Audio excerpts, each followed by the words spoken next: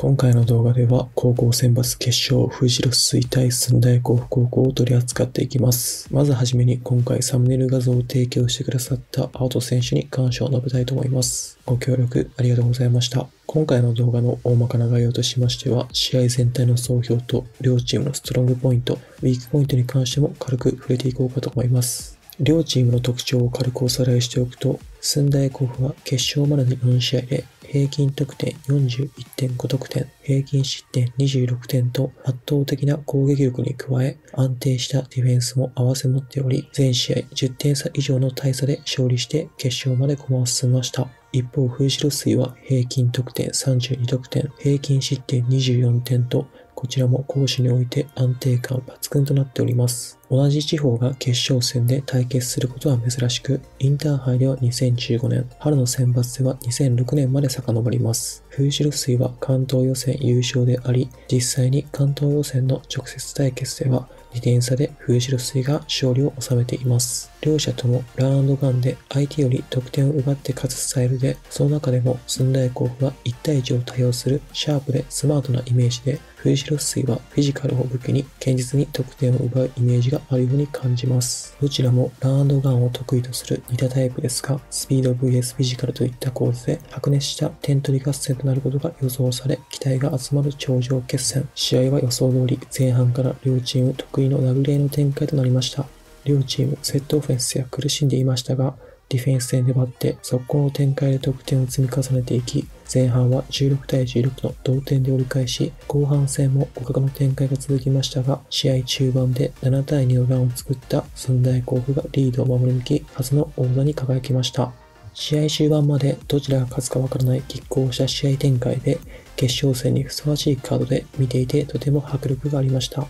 同じランアンドガンで殴り勝つスタイルの両チームの最終スコアは34対32とスコアから見てわかる通り1分1点以上のペースで得点が入るハイスコアなものとなっています。駿台甲府は古澤選手、アウト選手、ウイス選手の超高校級の判断能力とスピードを持つバックプレイヤーと勝負どころでのビッグセーブでチームを救ったゴールキーパー堀川選手、高確率のサイドシュート職人、レフトウィング八重樫選手、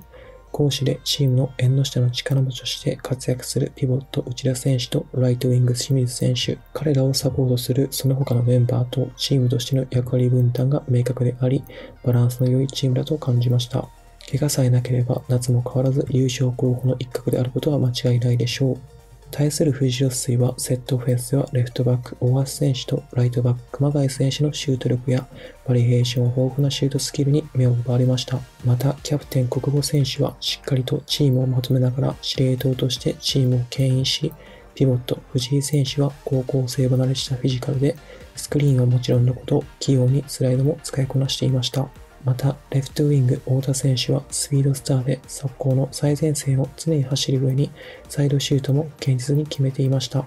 レフトウィング大友選手は見行きながらそのディスアドバンテージを感じさせないほどサイドシュートを決めていました。フジロ水は伝統的なフィジカルを生かしたラウンドガンのスタイルで安定して夏も全国上位に食い込んでくるでしょう。夏までにピボットを絡めた2対2や3対3の理解度が高まれば、超高校級のフィジカルを活かしてセットオフェンスでも安定した得点が狙えると考えられます。春にもかかわらず、この高い完成度を披露した両チームですが、まだまだ伸びしろも垣間見えており、夏までにどのような成長を見せてくれるのかが楽しみです。駿台甲府はキャプテン古澤選手が最優秀選手、堀川選手、大石選手、アウト選手が優秀選手に選出されました。駿台甲府からは両エースの大橋選手、熊谷選手が優秀選手となりました。おそらくこの試合はボールに空気が入りすぎていて、ボールが硬かったか、湿気により両面テープの粘着力が落ちていたと考えられます。試合序盤に両チームともシュートを吹かすことが多かったように感じました。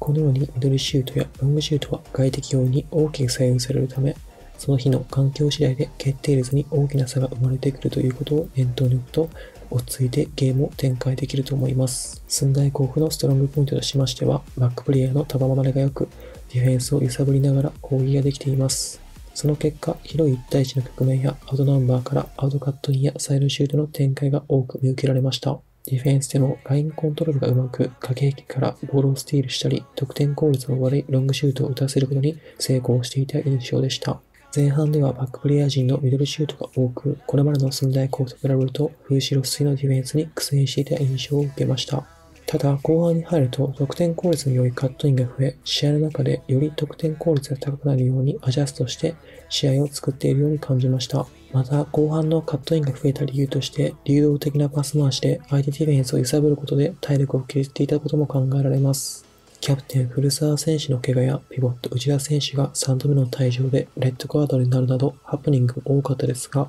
逆境を跳ねのける精神的高さもストロングポイントだと考えます。風刺露水のストロングポイントとしましては、フィジカルも運動量もあるため、他のチームよりラインを押し込まれることが少なく、寸大甲府の持ち味であるカットインやミドルシュートからの失点が少なくなっていた印象でした。また、ロングシュートを打たせてから速攻に走ったり、相手のミスを誘発して速攻につなげるというディフェンスから良い流れを作っていた印象です。準決勝までの4試合で平均41.5得点を挙げていた寸大甲府を34点と平均を大きく下回る失点で守り切った風シロスのディフェンス力は全国トップレベルにあるのではないでしょうか。駿台甲府のウィークポイントのしましは、フィジカル面で藤代には劣るため、ディフェンスラインを押し込むことができずに横パスが増えていたように感じます。また、ロングシュートが高い精度で決めることができる大砲役がいないため、このようなフィジカルと運動量を持つ相手に対して攻め手が少ないように感じました。ピボットのスクリーンやスライドを活用し、それを有効的にオフェンスに取り入れることができれば、フィジカルのディスアドバンテージを無効化し、得意の1対1からの得点が増える試合展開も考えられます。フーシロスイのウィークモデルとしましては、ピボットがフィジカル面での優位性を持っているにもかかわらず、それを最大限活用できていないように感じます。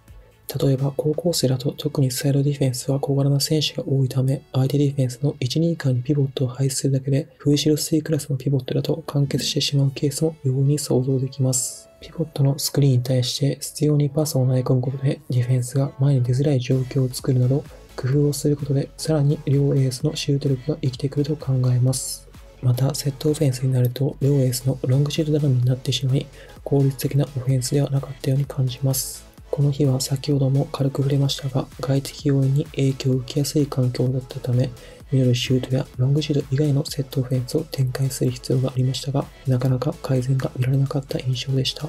このように準決勝に引き続き決勝でも修正能力に少し課題が残る試合となっていたように感じます。夏のインターハイまでにはより試合数が増え、相手チームが持つ情報量が増えていく中で、相手は風刺水を研究して効率的なオフェンスやディフェンス策を講じてくるはずです。課題の修正能力が改善できれば、夏のインターハイで優勝を狙えるポテンシャルは大いに秘めていると感じます。リベンジに燃える風白水、2冠を狙う寸大甲府、これからも事あるごとに試合をすることになるであろう両チームが、ライバルとして切磋琢磨することで、インターハイや国体などの大舞台で活躍することに期待せずにはいられません。今回の動画は以上となります。それでは次の動画でお会いしましょう。